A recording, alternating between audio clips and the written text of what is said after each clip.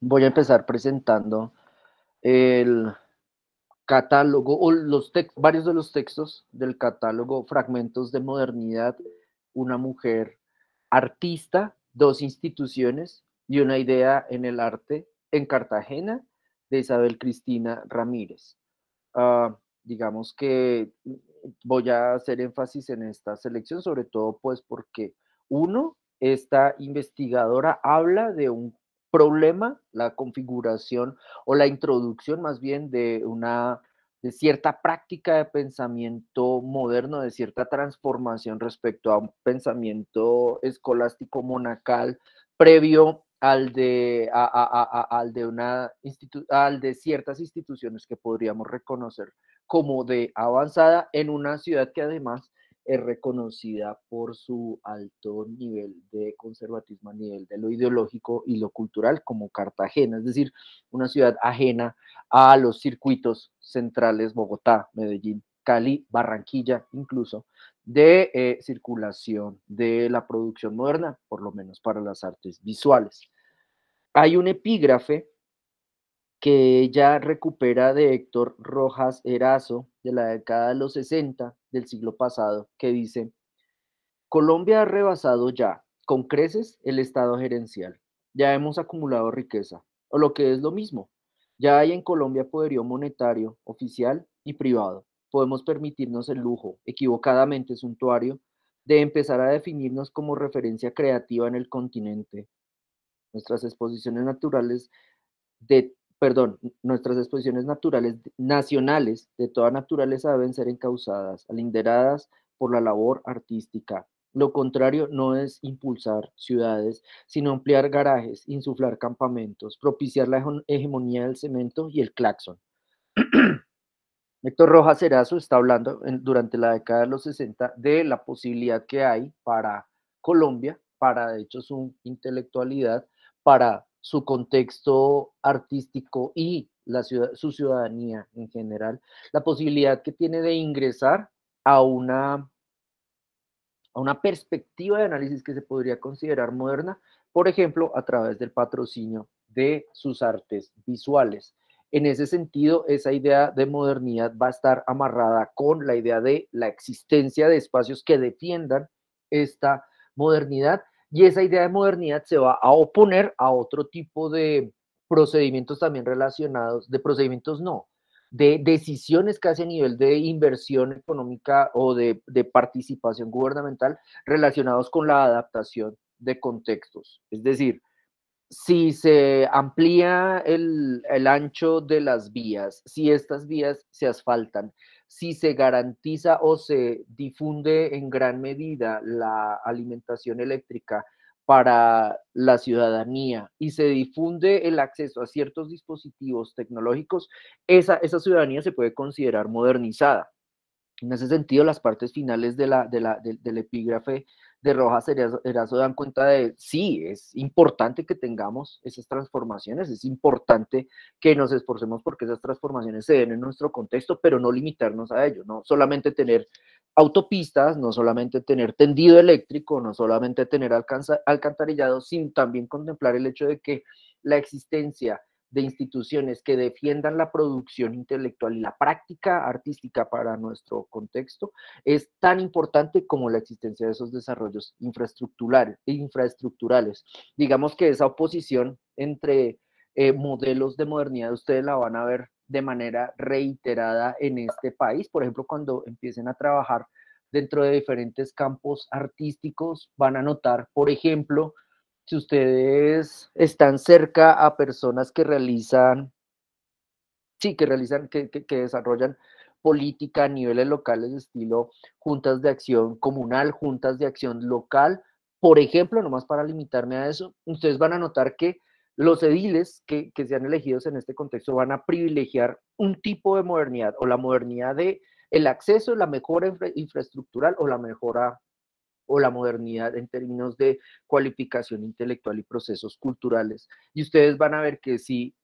están trabajando o ustedes mismos van a, van a, van a operar como ediles que defiendan y promuevan la inversión del Estado en términos de lo cultural, generalmente se les va a exigir que esa inversión se dé en ciertos en cierto tipo de construcciones. Por ejemplo, en términos culturales va a ser más mejor recibido el hecho de que a ustedes, de que ustedes impulsen una biblioteca en eh, un sector de la, de la localidad donde trabajan a que impulsen el desarrollo de un museo. Va a ser mucho mejor recibido el hecho de que ustedes promuevan la educación a partir de prácticas de lo que aquí para, nuestro contexto se llama cultura ciudadana, por ejemplo, prácticas de educación de ciudadanía por medio del el performance de sujetos que le van a enseñar a esas personas cómo comportarse en público. Eso va a ser mejor recibido a si ustedes, por ejemplo, se dedican a mostrar eh, exposiciones de arte contemporáneo que muestren eh, obras de artistas feministas de la localidad.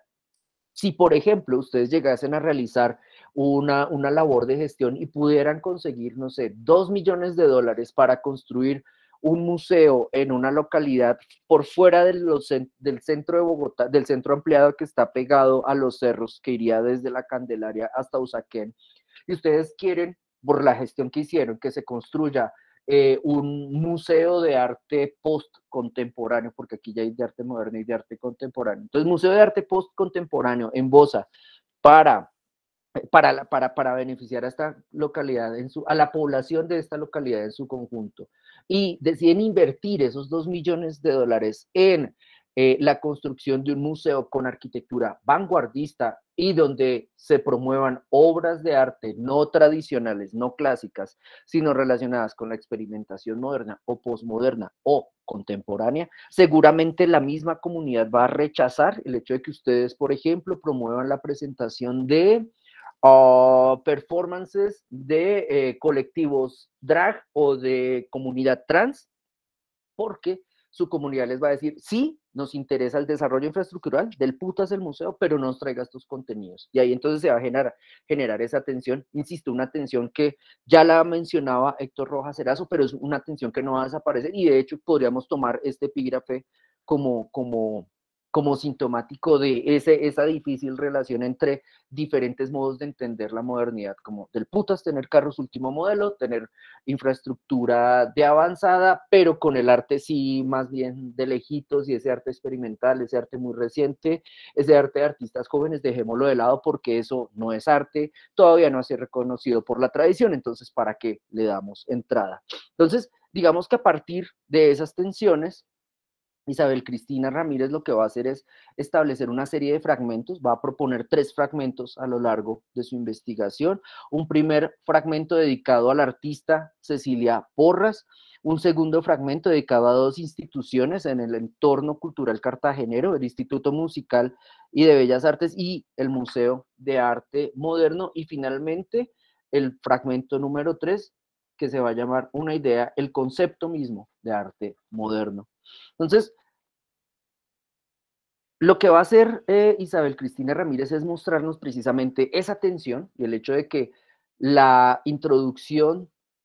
del pensamiento moderno en entornos altamente conservatizados va a darse generalmente a través del conflicto, este conflicto va a darse a través de las personas que trabajan en las instituciones, las decisiones que toman en las instituciones y las instituciones mismas que pueden crear. Y en ese sentido, digamos que la producción de arte como tal, la producción de hechos culturales reconocidos como artísticos, va en muchísimos casos a verse como víctima de esta situación. Por ejemplo, eh, exposiciones censuradas, conciertos prohibidos, presentaciones de teatro que son prohibidas también porque se considera que son demasiado experimentales o cuestionan de una manera bastante radical varias de, las, de, de las instituciones ya establecidas, ya tradicionales, que operaban que, o que estaban operando más bien en el momento en que se presentó este proyecto cultural. Entonces, básicamente, ¿qué es lo que va a hacer la autora? En primera medida, va a destacar el hecho de que está trabajando en una exposición y que opera como curadora de una exposición. De hecho, ustedes están viendo el catálogo y en ese catálogo ella lo que dice es, yo lo que voy a hacer es cruzar imágenes con documentos, imágenes que pueden ser fotografías de prensa, fotografías de archivo personal, eh, bocetos de obras de artistas, eh, imágenes hechas por artistas, pero que no debían circular, que no se pensaron más bien para el campo del arte, por ejemplo, carteles eh, publicitarios o obras de arte eh, en plena, como, como obras de arte definidas a partir del contexto de obra de arte como el objeto que hace el artista, el, objeto que hace ese artista formado como un sujeto, perdón, como, como sujeto egresado de academia. Y en ese sentido lo que dice ella es, ok, voy a reunir imágenes y documentos y voy a poner esa, esa eh, voy a cruzar esas imágenes con un contexto, con un momento, un momento que para ella va a ser eh, finales de la década de 1950, en que ella dice, ahí fue cuando surgieron ideas de modernidad en la ciudad de Cartagena en esa década, de, hecho, sí, como a, lo largo de esa década se fueron estableciendo las condiciones para la aparición de instituciones modernas o de artistas que hicieran arte moderno, es importante entonces tener en cuenta qué tipo de, de, de, de factores podremos identificar para notar esa transformación. Y ella va a hablar de cuatro factores cuatro factores que además se dan, se presentan de manera global en la sociedad, en, la, en la gran mayoría de la sociedad colombiana, sobre todo de clases medias hacia arriba. En primer lugar, las clases medias y las élites van a empezar a asimilar, a consumir nuevos lenguajes artísticos, bien sea a nivel de teatro, producción audiovisual, es decir, televisión o cine, uh, puede ser también eh, música, en el caso del jazz, por ejemplo, y cierto tipo de música experimental, y en artes visuales, una asimilación, un acercamiento a la abstracción. Por otro lado, dentro de esas transformaciones de, de práctica artística que ella ve como modernas, se empieza a generar de una manera cada vez más fuerte y consolidada la distinción del artista profesional. Esto se debe básicamente que hay academias de arte que determinan entonces la profesionalización de esos artistas y ya no solamente el artista profesional va a ser el que produzca imágenes para venderlas y ojalá vivir de esa circulación de imágenes, sino que este artista profesional sobre todo va a ser un sujeto que va a egresar de una institución en, la cual operan ciertas premisas respecto a la definición de lo que se considera arte, de lo que se considera obra artística y de lo que se considera en sí artista como tal.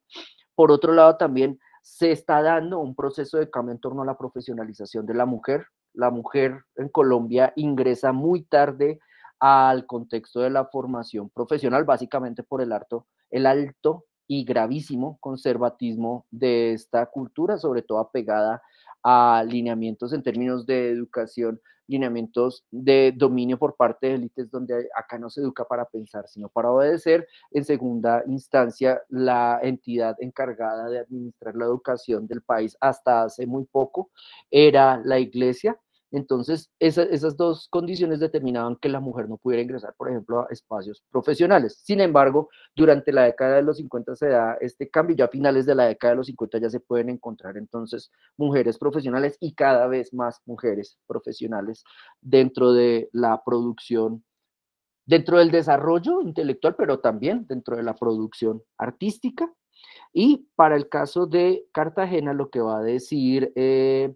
Isabel Cristina Ramírez, es que también en esa época hay, una, hay, hay, un impulso para instituciones como la Escuela de Arte y el Museo de Arte Moderno. Entonces ya ustedes pueden empezar a reconocer a partir de esos elementos que esta autora identifica, pueden empezar a cruzar como cuáles de ellos se relacionan y cómo uno es consecuencia de la existencia del otro. Por ejemplo, la distinción de los artistas como profesionales, la fundación de Escuela de Arte.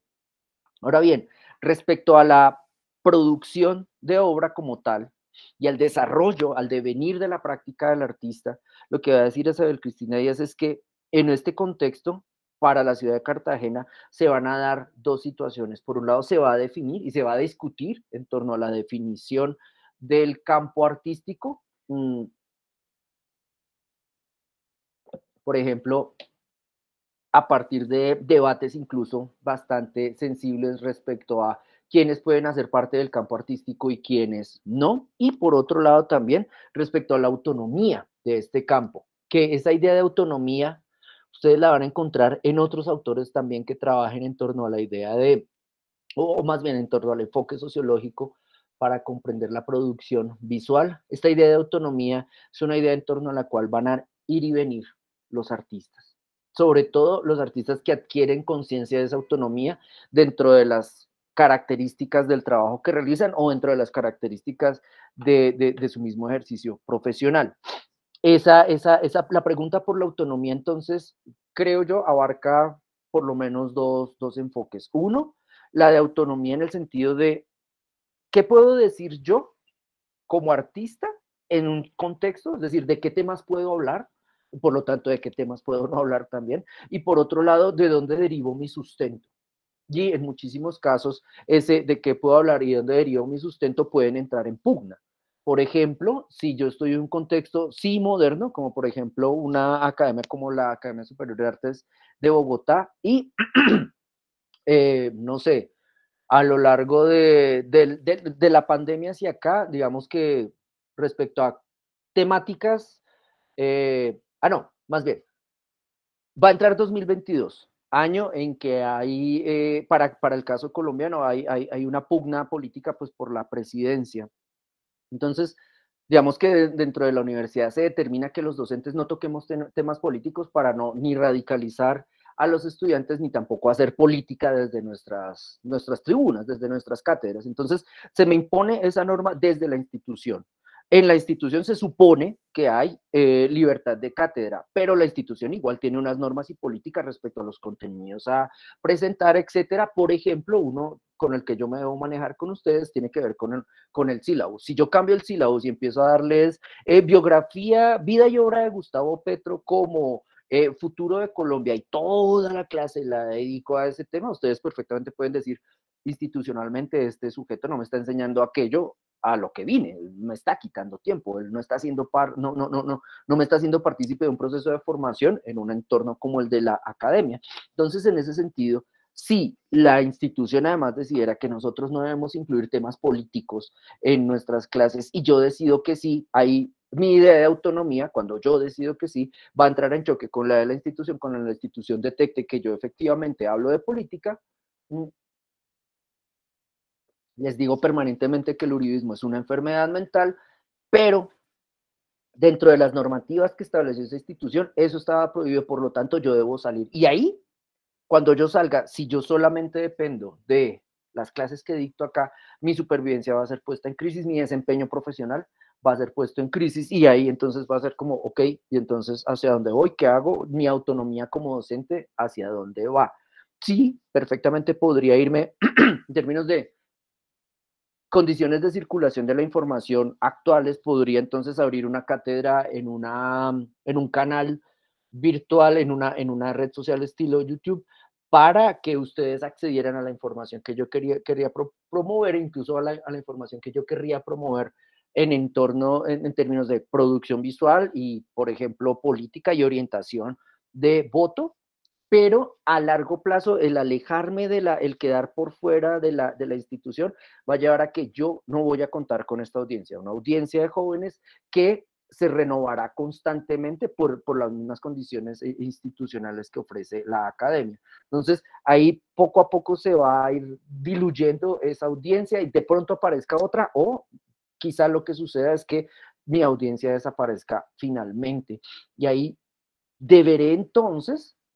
poner nuevamente el, diálogo, mi definición de autonomía para ver si quiero seguir tocando este tema, tocándolo desde esta perspectiva, ya por fuera de la institución universitaria. Entonces, ¿cómo voy a tramitar, producir, poner a circular esa información? Una de las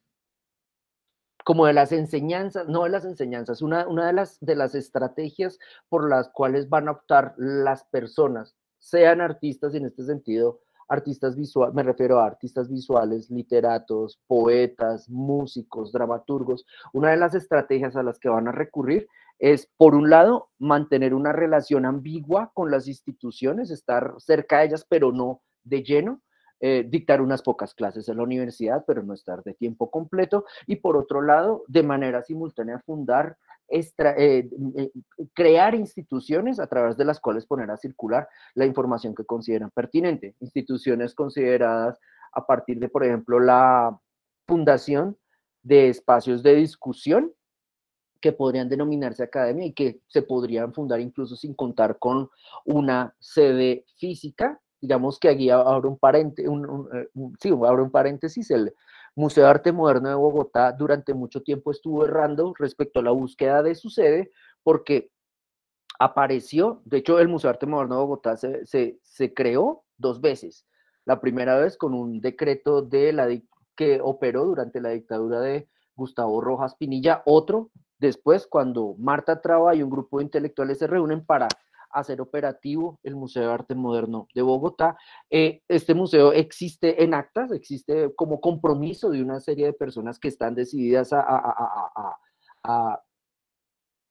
a defender, a afianzar y a sostener esa institución, pero el museo no tiene sede física. De hecho, el museo dependía de la buena voluntad de los amigos con dinero dentro de ese grupo de, asociados y cercanos que pudieran facilitarles, por ejemplo, locales en los cuales operar. El Museo Arte Moderno de Bogotá, hasta mucho después de su, fundación, pudo tener la sede física mm, donde está ubicado actualmente y así con muchas instituciones. Entonces, personas cercanas a la práctica artística, interesadas en definir y en defender una, autonomía en su labor, van a construir instituciones, por ejemplo, museos o instituciones, como por ejemplo revistas, medios de comunicación, para poner a circular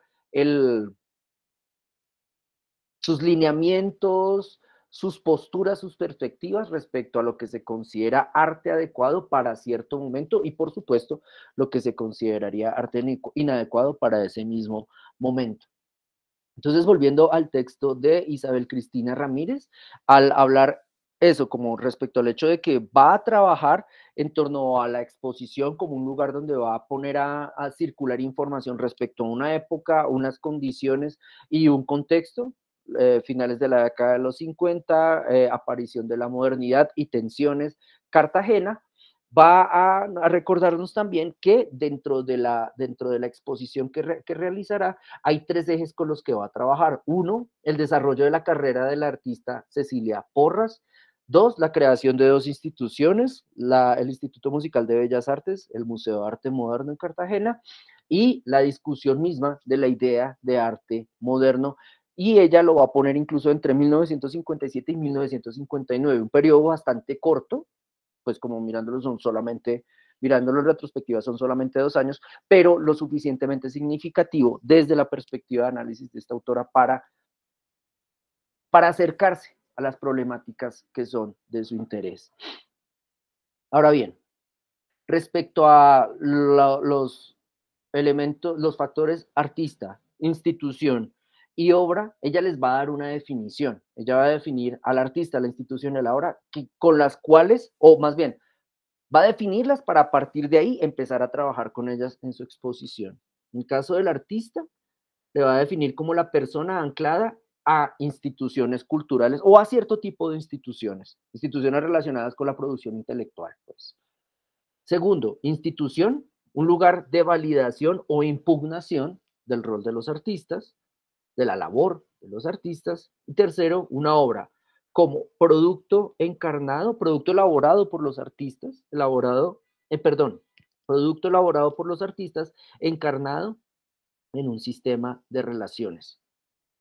¿Qué es lo que hace el artista? Es un sujeto, desde esta perspectiva, insisto, es un sujeto que sí desarrolla o desarrolla eh, productos culturales o trabaja en instituciones donde se desarrollan estos proyectos culturales, pero siempre está vinculado a instituciones. Es decir, un artista por fuera de las instituciones desde esta perspectiva no sería adecuado para la, insisto, para la mirada de Isabel Cristina Ramírez. La institución va a ser el lugar donde los artistas pongan a prueba, se pongan a prueba para obtener reconocimiento,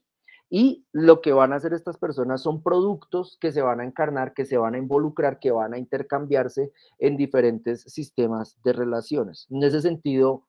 si establecemos una comparación con ustedes, ¿cómo se definen ustedes como artistas en la actualidad? Sobre todo a partir de su vinculación con la Academia Superior de Artes de Bogotá, a pesar de que hagan labores por fuera de la academia. En este momento, en este contexto de su vinculación con las hablas que les permite acceder a esto y a este y otros espacios de discusión donde pueden hablar sobre arte desde diferentes perspectivas. Es más,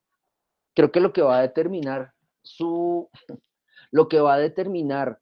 su acercamiento a la definición de arte o de prácticas artísticas va a depender en gran medida de la perspectiva diferencial que les dé el, profesor o profesora a medida que ustedes avancen en la carrera. En segunda instancia, la institución va a ser, sería la academia, entonces sí, ustedes dentro de la academia van a validarse o impugnarse respecto al rol que tengan. ¿Cómo se validarán? En últimas, si cumplen con el proceso de formación del programa de estudios, pues presentan su tesis, la sustentan, pasan y después se gradúan. ¿Cómo eh, puede impugnarse su proceso de formación dentro del, del, esquema, de la estructura de la academia misma? Por ejemplo, si eh, ustedes en términos institucionales, ustedes pierden materias después de un cierto punto, creo que después de tres, si ustedes repiten tres veces una materia, por ejemplo, ya se les puede impugnar respecto a su continuidad, si ustedes agreden a un compañero agreden a una docente o docente, si ustedes cometen plagio, es decir, si ustedes violan ciertos acuerdos de convivencia que están en el reglamento estudiantil, ahí la, la institución les impugna, impugna su vinculación y ustedes dicen, eh, perdón, y la institución les dice, ok, no pueden continuar aquí, así ustedes lo deseen, e incluso así ustedes quieran tutelar el derecho a acceso a la educación. Y finalmente, la, lo que ustedes harán será considerado obra, no en el sentido de que, que eso pasa muchísimo en la academia, como que el estudiante mientras esté estudiando no hace obras de arte, no, yo estoy como alejado de esa postura. Más bien yo considero que ustedes hacen obras definiendo estas obras como productos. Aquí voy súper con la línea de Isabel Cristina. Ustedes hacen obras en el momento en que los productos que realizan dentro de las clases o fuera de ellas empiezan a ser valorados en sistemas de relaciones. Por ejemplo, los de calificación de las clases. Entonces, ese dibujo que ustedes hacen mientras toman clase de humanidades 3 y desean que esta clase se eh, que ese profesor se calle porque ya no pueden más del aburrimiento, ese dibujo en este contexto no es validado como obra. Pero si ustedes toman ese dibujo y lo presentan en un contexto de dibujo 3, no sé, para hablar de dibujos espontáneos y bla, bla, bla, bla, prácticas surrealistas, etcétera, ese dibujo ahí puede adquirir una valoración y va a ser valorado tanto porque ustedes decidieron presentarlo como porque dentro de en, ese espacio institucional va a ser sujeto de intercambio y de diálogo. Entonces, digamos que ya habiendo aclarado estos puntos, el artista, institución, obra, lo que va a hacer entonces Isabel Cristina Ramírez es pasar a una definición de desarrollo cultural, que es una definición que a mí me parece bastante adecuada para que entendamos la dificultad para entornos como el nuestro, es decir, país, eh, un, país dependiente, por ejemplo, de la, la, explotación de sus materias primas, un país en permanente inestabilidad política, un país tendente al autoritarismo. En contextos como este, la idea de desarrollo cultural no es lineal, no es como, ah, hay élites ilustradas en el poder, listo, vamos todos a modernizarnos, fin, sino aquí la cosa es más compleja. Aquí podrá haber élites ilustradas en el poder, pero esas élites, esas élites ilustradas en el poder no desean que la cleva, nosotros, la masa, los obreros potenciales, nos cualifiquemos, sino simplemente los obedezcamos. Entonces, en nuestro contexto, yo me podré modernizar, por ejemplo, adquiriendo medio, eh, mecanismos, dispositivos para la comunicación, eh, televisor, acceso a radio, eh, un radio para acceder pues a, transmisión radial, un computador con conexión a internet para también recibir esta información, pero la información que recibo es una mierda. Entonces, tengo televisión para ver, tengo un televisor para ver televisión, prendo el televisor y que me dan, yo me llamo o basuras de esas. En ese sentido, la producción de esos contenidos depende de las decisiones de esta élite en el poder. Y esa élite en el poder no quiere que yo me cualifique. Entonces, si yo veo Yo Me Llamo, si escucho Candela Estéreo, si ahorita, en si ahorita que empieza Navidad el 31 de octubre, si ahorita que empezó Navidad el 31 de octubre, yo tengo que dedicarme a escuchar juegos de villancicos por las tardes. si a mediodía me dan la lista de los 40 principales como única música a escuchar, ¿qué tipo de sujeto cultural seré?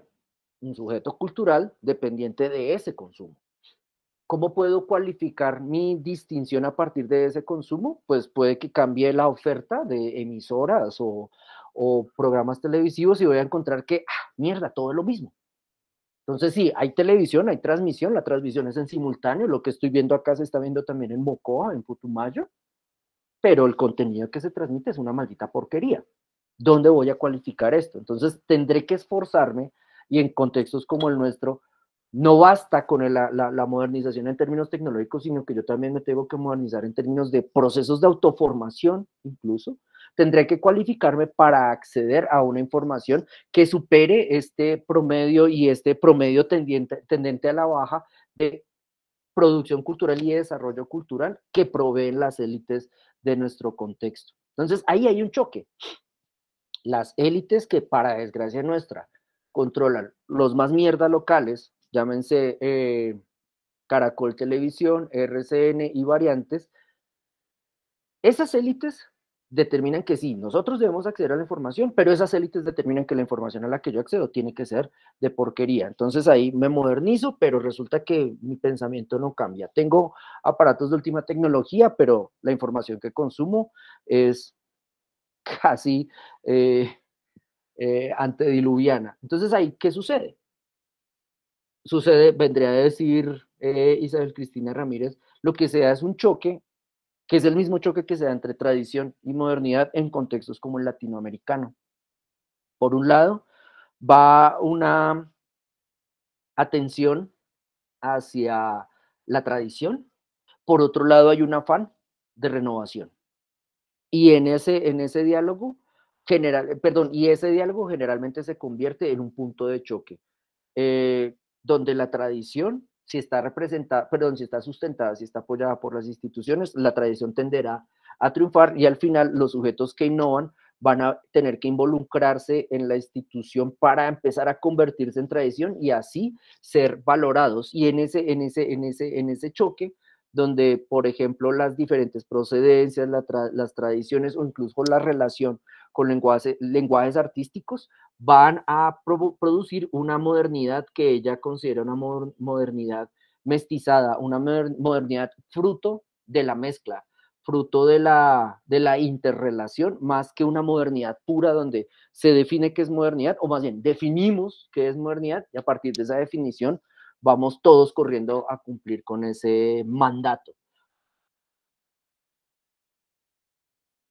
En ese sentido, entonces, lo que eh, Isabel Cristina Ramírez recupera a Consuelo Corredor, a una autora que define la modernidad como una forma distinta de concebir el mundo, donde el modelo de interpretación que ofrece la religión se pierde o pierde mayor pierde influencia progresivamente. Por otro lado, es, se reivindica, se defiende el hecho de que es posible entender la realidad social, es decir, este país está así como llevado de la crisis mental del uribismo, no porque es un castigo del Dios de los cristianos, sino porque hay unas condiciones socioeconómicas que llevaron a que la mayoría de personas que votan acá se hubieran decidido por ese modelo político. Y finalmente, en términos de forma distinta de concebir el mundo, la modernidad es una interpretación respecto a una idea de orden. Orden es y ya no es orden aquello que se someta a que vendría a ser como las determinaciones del Dios de los cristianos respecto a toda la ciudadanía, sino que por lo menos en términos de práctica política, la modernidad, el, el modelo moderno de realidad va a determinarse por las decisiones que tomemos como ciudadanía, por ejemplo, o incluso el, paro nacional lo demostró por las decisiones que tomemos como grupo mayoritario para oponernos respecto a ciertas decisiones que el Estado, en este caso el régimen de Álvaro Uribe Vélez, nos muestra como inmutables. Como fue que fue tumbada la reforma tributaria que buscaba robarnos más nuestro dinero para dedicárselo a la, a, la, a, la, a la, corrupción, pues básicamente a través de movilizaciones. ¿Cuántos muertos significaron estas movilizaciones? ¿Cuántos tuertos? ¿Cuántas mujeres violadas? Es parte del pago que la sociedad que se movilizó decidió pagar para oponerse a este tipo de mandato que de entrada, digamos, desde el púlpito del uribismo se imponía como irrefutable. Las masas movilizadas dijeron, para la puta mierda, no estamos dispuestas a aceptar esto, nos oponemos, a pesar de que usted no responda con la violencia de la que siempre ha hecho gala, y vamos a transformar este, este, este, este estado de cosas. Creo que en ese sentido, si ustedes han seguido viendo noticias o informándose, no viendo noticias, me equivoqué, no vean noticias, infórmense, pero no vean noticias nacional, de medios nacionales, menos. Si ustedes se han seguido informando respecto al devenir político del país, ustedes han notado que ha habido una pugna entonces entre sujetos que representan un modelo premoderno de administración del Estado y otros que lo quieren modernizar. Y este debate es casi constante. En un, país como el nuestro, ese, ese, modelo de orden pareciera que es, es nuestro panorama. Si ustedes se informan semanalmente o no, diariamente respecto a lo que ocurre en este país, pareciese que cada semana hay un escándalo nuevo para reemplazar el anterior, previendo el escándalo que viene. Y este escándalo tiene que ver con abusos en la institución, abusos en la institución y abusos en la institución, que se dan bajo formas como plagio por parte de políticos, imposición de peajes, asesinato y desaparición de jóvenes, etcétera. Elementos que determinan la dinámica política del país y en torno a los cuales se proponen estrategias de operar respecto a qué tipo de país se quiere. El uribismo quiere un país altamente respetuoso de las jerarquías, donde el neonazismo sea la religión, donde la policía asesine impunemente. Los progresistas quieren otro modelo de nación. ¿Cómo hace uso de la tecnología, por ejemplo, el uribismo? Miren, porfa, la manera en que, en términos de uso de la tecnología y medios de comunicación, desde el uribismo se aprovechan medios modernos como medios de transmisión de información para mantener a la gente subyugada, como desde el progresismo se inventan, se crean nuevos medios para dialogar con la ciudadanía y lograr convencerla de que votar por el uribismo es un suicidio político. Entonces ya para terminar esta parte voy a hablar del caso Cartagena, o tal, del caso Cartagena, tal cual como nos lo presenta Isabel Cristina Ramírez. Primero, y me, gusta como la, la, manera en que lo presenta esta autora. La modernización infraestructural no implica una modernización en términos ideológicos. La ideología tradicional puede ir perfectamente de la mano con los últimos avances en desarrollos eh, infraestructurales. Por otro lado, la tradición en Cartagena es altamente goda porque tienen el modelo regeneracionista, Rafael Núñez, presidente del país en cuatro ocasiones, si no lo recuerdo mal ahora. Este sujeto hizo una constitución que se mantuvo vigente durante más de 100 años y poniendo un modelo de país centralista, blanco, patriarcal, racista, donde las diferencias no cabían. Ese modelo de tradición es un modelo que le encanta a la Godarria cartagenera, una Godarria cartagenera que además no solamente está entre las élites, sino también en las capas populares. Ese modelo regeneracionista entonces era más cercano al hispanismo, como al, respetar la tradición de España como madre patria, o al catolicismo, pues como influjo de la, como, como, perdón, como manifestación, como síntoma más bien de la dominación de la iglesia en términos ideológicos de este territorio y no solamente. Y en, ese sentido, entonces, ese, esa mezcla para mí perversa entre hispanismo y catolicismo daba a entender que solo había una raza válida, una religión válida y una lengua válida. Y en ese sentido, la, la, definición de alta cultura, teniendo en cuenta la idea de una raza, una religión y una lengua, la definición de cultura tendría que ver con una definición que pasaba por el tamiz, por el enfoque racista eurocentrista o eurocéntrico. La cultura es aquella que en términos de raza nos hace parecernos a los europeos del norte de Europa, que en términos de religión nos acerca a la práctica de la religión en la España que nos conquistó, del reino español que nos conquistó. Y el ejercicio de la lengua sería un ejercicio correcto determinado a partir sobre todo de instituciones, como por ejemplo la Academia de la Lengua, que determinarán o van a querer determinar el hecho de que en este entorno, en este, en este contexto colonizado durante el reino español, se habla un mejor español que en la propia España. Entonces, todo aquello que se plegue a estas condiciones va a ser alta cultura. Es decir, un artista negro no sería concebible, a pesar de que en Cartagena la mayoría de población sea negra. Un artista mestizo no es concebible a no ser que se blanquee, y la noción de blanqueamiento tiene que ver con una práctica cultural de contextos como este, es decir, mejore su condición social a partir de matrimonios, alianzas, etcétera, o adquisición de recursos, aunque incluso en entornos tan racistas como la Colombia de, que obtuvo la independencia de España, incluso tener plata no importaba. Y todavía sucede. Aquí el tener plata no lo saca uno de, no lo saca uno de mestizo o negro. Aquí incluso, como este país es tan racista en ese sentido, incluso eso no, no, no, no, no permite movilidad social. Entonces, si quiero ser si quiero hacer cultura, si quiero hacer arte, debo hacerlo imitando el modelo eurocéntrico, porque el resto va a ser cultura popular. Y en esa oposición, la cultura que se va a validar, la que se va a potenciar institucionalmente, va a ser la considerada alta cultura a imitación del modelo eurocéntrico.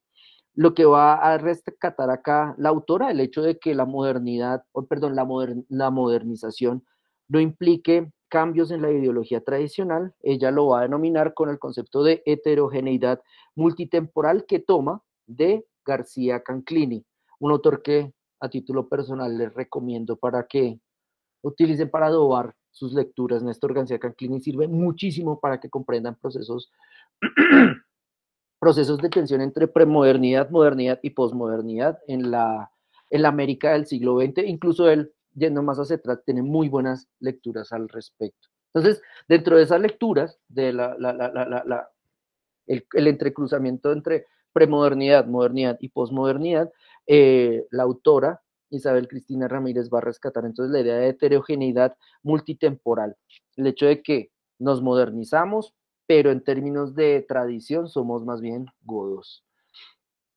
En el caso del proceso de modernización en Cartagena, entonces Isabel Cristina Ramírez va a hablar de una discontinuidad y de una discontinuidad que, por ejemplo, es un ejemplo de varios, por ilustrarse con el siguiente hecho. En 1959 se funda el Museo de Arte Moderno. La fundación de este museo trae aparejada una oposición. Por ejemplo, había expertos odiadores de la experimentación artística y por otro lado hubo un respaldo deliberado para una falta de respaldo deliberada para evitar que se configurara una colección. Entonces este museo se, se apareció con el rechazo de las élites conservadoras y sin colección.